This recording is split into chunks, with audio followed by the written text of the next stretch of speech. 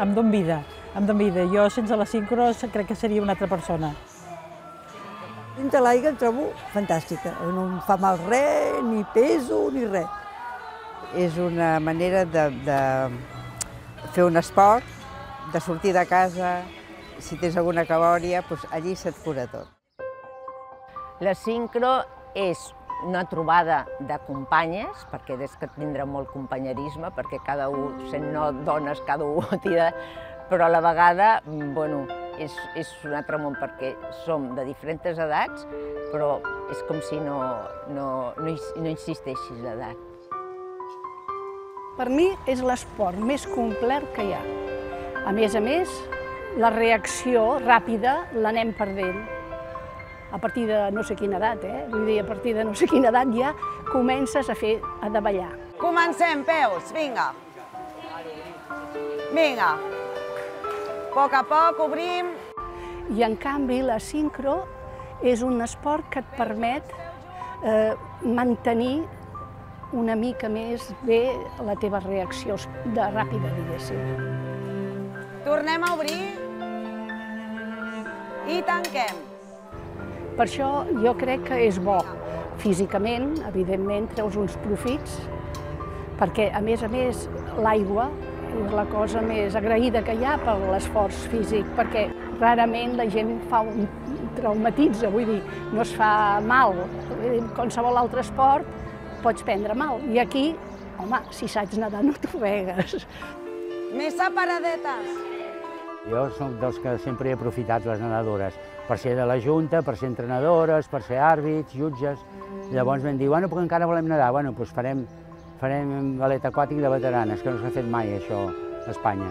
Des que ho vam començar, fa 30 anys o 40, vull dir que ja tenim veteranes que nadaran, doncs, que tenen 83 anys, 82, i després hi ha alguna més jove, ara la més jove en té 50, 60 i, i pico.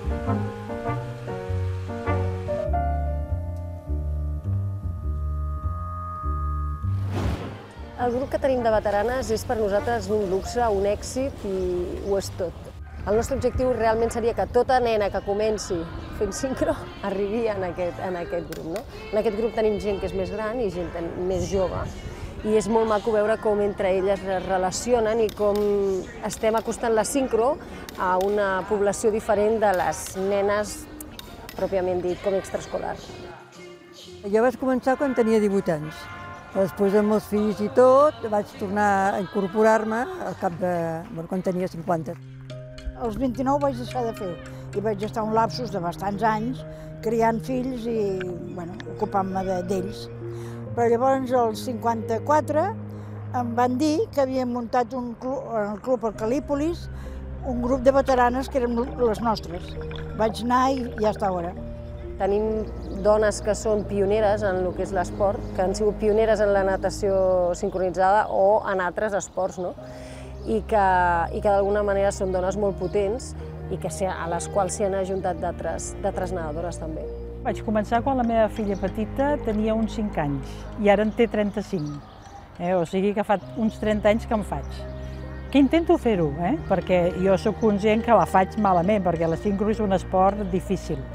Però bueno, m'és igual, encara que la faci malament, que no, que no sigui tot el millor que pugui fer, doncs faig el que puc i em sento bé. Vaig començar als 48 anys i em vaig trobar amb un grup ja de veteranes. Jo començava de zero, no en tenia ni idea.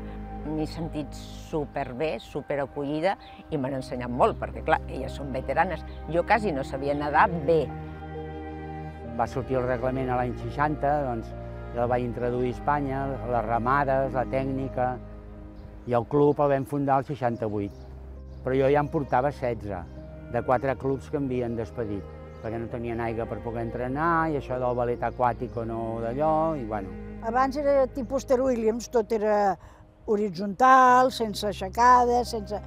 Ara veig les Ter Williams i penso era un paquet, però llavors ens semblava una meravella.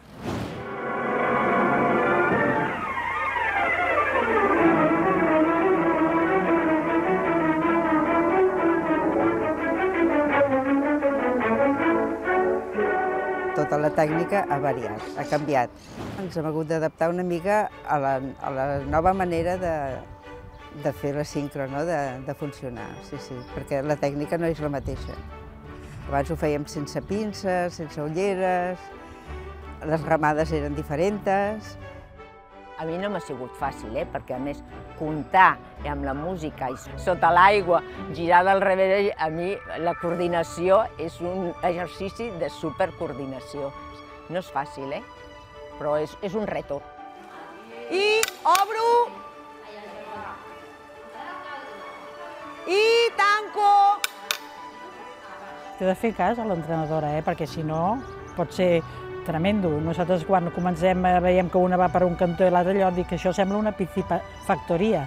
Eh? La sincro el que té de bo és que tens de concentrar-te. A mi precisament una de les coses que em va molt bé és perquè tinc de posar molta atenció, perquè jo sóc una persona eh, artística molt més dispersa així, i aquí no perdono, aquí es té de fer el que toca, perquè és clar, el maco és anar tot, totes igual, fer els exercicis bé i anar igual, per això es diu sincronitzada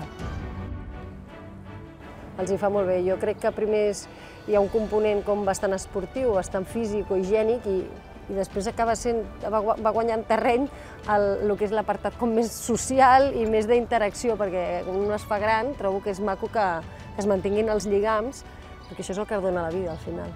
Moltes ja ens coneixem de fa molts anys, de quan érem jovenetes, de quan vam començar totes a fer la sincro, i això és molt, és molt maco. César, surts, quan fan el paraigües, tu surts. La gent gran és el que necessita, tenir relacions amb gent, perquè si estàs tancada a casa... I quan acabi la roseta, tots a dalt i a baix. Tindré la possibilitat de he d'anar a fer una activitat que em fa molta il·lusió perquè em veig amb aquesta o amb aquella i a més a més fas una activitat que a nivell físic i mental et va bé, és un èxit.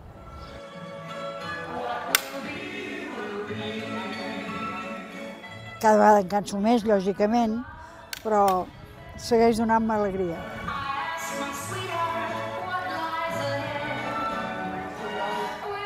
És una rutina que dona, dona molt benestar. Quan surts de la piscina és com si t'haguessin passat eh, tres en una, a tot arreu.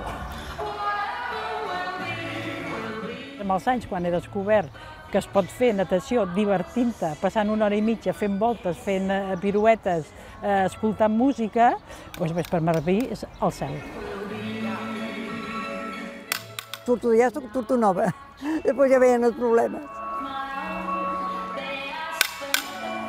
Per mi la sincro és la meitat de la meva vida, perquè m'ha donat alegries, entreteniment, treu les cabòries, eh, t'omple la soledat, la meitat de la meva vida.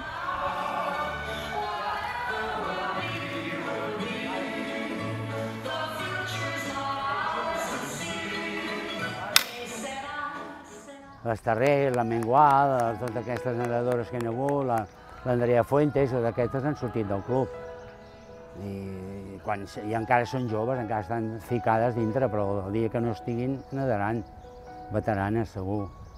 La que no nedi, pobra d'ella, mentre estigui jo, nadaran.